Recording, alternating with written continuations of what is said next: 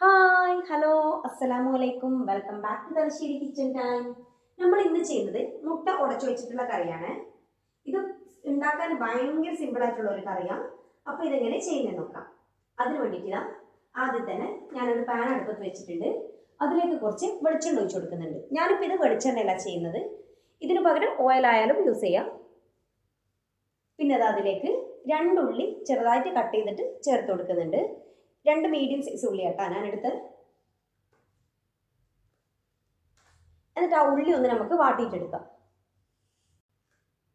പിന്നെ അതിലേക്ക് ഒരു പച്ചമുളക് ഈ ഒരു രീതിയിൽ നാലായിട്ട് കട്ട് ചെയ്തിട്ട് ചേർക്കുന്നുണ്ട്. ഞാൻ വലിയ പച്ചമുളക് എടുത്തത് പക്ഷെ വലിയ എരിവൊന്നും ഇല്ലാത്ത പച്ചമുളക് കേട്ടോ. പിന്നെ ഒരു ടേബിൾ സ്പൂൺ ഇഞ്ചി വെളുത്തുള്ളി ചതച്ചത് ചേർത്ത് കൊടുക്കാം. പിന്നെ അതിനാവശ്യമായിട്ടുള്ള ഉപ്പ് ചേർത്ത് കൊടുക്കാം. നല്ലോണം മിക്സ് ചെയ്ത് കൊടുക്കാം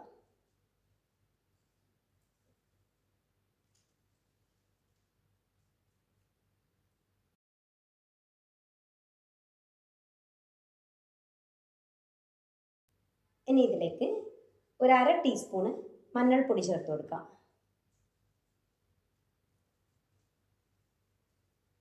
അതും നല്ലോണം തന്നെ മിക്സ് ചെയ്ത് കൊടുക്കാം.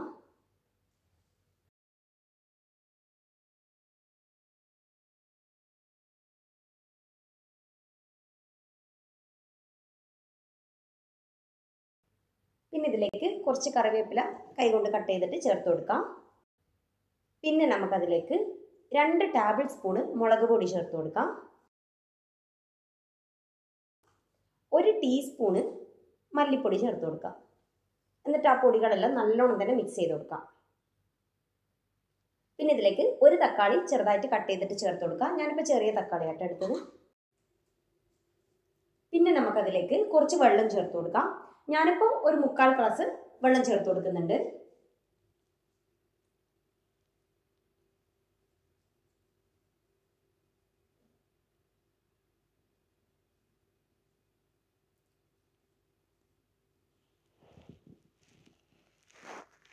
എന്നിട്ട് നമുക്കിതൊന്ന് അടച്ചു വെച്ചിട്ട് ഒന്ന് തിളപ്പിച്ചെടുക്കാം. ആ തക്കാളിയിലൊന്ന് ഉടനെ വരട്ടെ.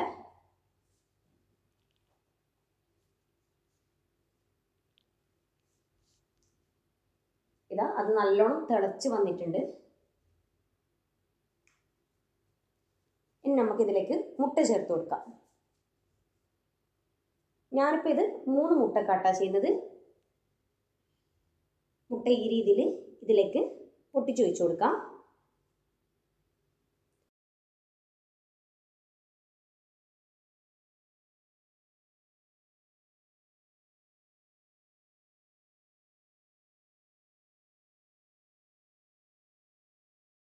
ഒഴിച്ച ശേഷം നമുക്ക് ഇതൊന്ന് അടച്ചു വെച്ചിട്ട് ആ മുട്ടയെല്ലാം ഒന്ന് ജസ്റ്റ് ഒന്ന് വെന്ത് വരട്ടെ. ലോ ഫ്ലെയിമിൽ ഇട്ടിട്ട് വെച്ച് കൊടുക്കാം കേട്ടോ മുട്ട ഒഴിച്ച് കഴിഞ്ഞാൽ എന്നിട്ടിതാ മുട്ടയിലിതാ ആയി വന്നിട്ടുണ്ട്. നമുക്ക് ലാസ്റ്റ് ഇതിന്റെ മേലെ കുറച്ച് കറിവേപ്പില കട്ട് ചെയ്തിട്ട് ചേർത്ത് കൊടുക്കാം. ഇങ്ങനെ ലാസ്റ്റ് കറിവേപ്പില ചേർത്ത് കൊടുക്കുന്ന സമയത്ത് നല്ല ടേസ്റ്റ് ഉണ്ടാവും.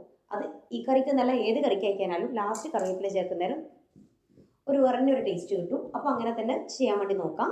അപ്പോൾ ഇതാ നമ്മൾ കറി റെഡി ആയിട്ടുണ്ട്. അപ്പോൾ ഈ കറി എന്തായാലും ട്രൈ ചെയ്ത് നോക്കാം. ഫീഡ്ബാക്ക് അറിയിക്കാം. പിന്നെ ഈ വീഡിയോ ഇഷ്ടമായിട്ടുണ്ടെങ്കിൽ ലൈക്ക് ചെയ്യുക. ചാനൽ ഇഷ്ടമായിട്ടുണ്ടെങ്കിൽ സബ്സ്ക്രൈബ് ചെയ്ത് സപ്പോർട്ട് ചെയ്യുക. തൊട്ടടുത്തുള്ള ബെല്ലൈക്കണും കൂടി ഒന്ന് പ്രസ് ചെയ്യുക. പിന്നെ ഈ വീഡിയോ ഹെൽപ്പ് ആവും എന്നുള്ളവർക്ക് ഒന്ന് ഷെയർ ചെയ്ത് കൊടുക്കാം. അപ്പോൾ ഇൻഷാല്ല വേറെ വീഡിയോ ആയിട്ട് കാണാം.